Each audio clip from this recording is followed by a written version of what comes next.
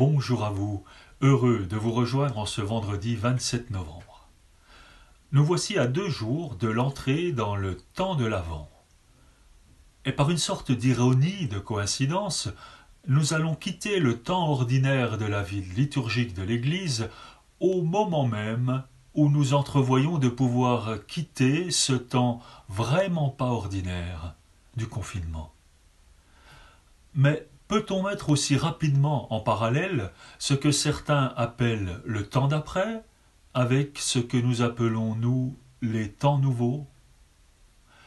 Personnellement, dans les deux cas, le fait d'entrer dans une perspective d'espérance et de salut me réjouit le cœur.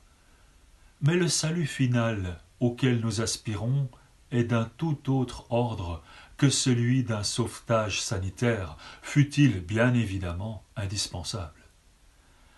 Alors pour méditer sur ce salut-là, je vous emmène comme d'habitude au cœur d'une hymne de la liturgie des heures.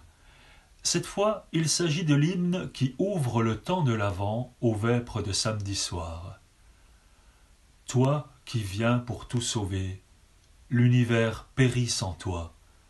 Fais pleuvoir sur lui ta joie, toi qui viens pour tout sauver. Oui, Seigneur, fais pleuvoir sur nous ta joie. Bonne journée à chacune et à chacun de vous.